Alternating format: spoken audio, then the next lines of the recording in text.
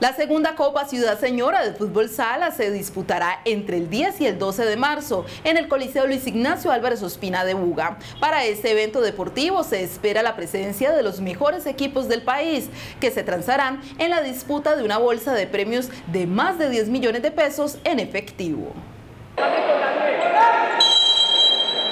Luego de posponerse la programación de la segunda Copa Ciudad Señora de Fútbol Sala, que se tenía para finales del mes de febrero, esta se disputará la próxima semana.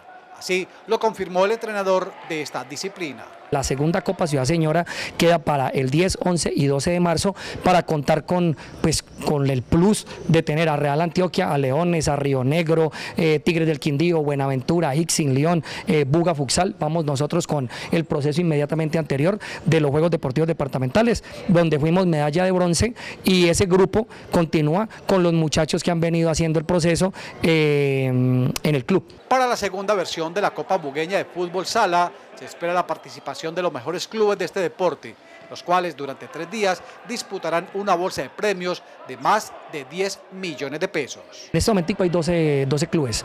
Eh, estamos a la espera de poder cerrar la inscripción en el transcurso de esta semana para ver máximo 16. Hay muchos que están pidiendo eh, el cupo, pero, pero entonces no podemos tener mucha gente porque apenas contamos con tres días. Entonces esperamos arrancar el viernes 10 eh, desde las 8 de la mañana hasta las 10 de la noche, partidos continuos y sábado 11 y domingo 12 semifinal y final.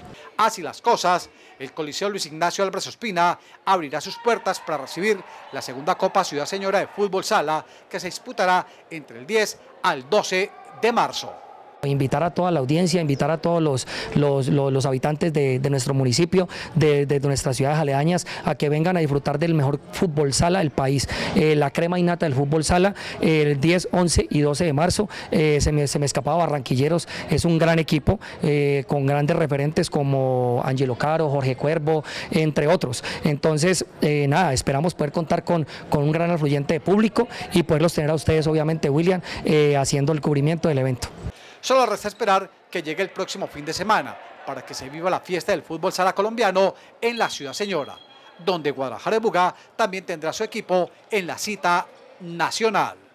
Uy, Pablo Aiza, CNC Noticias Buga.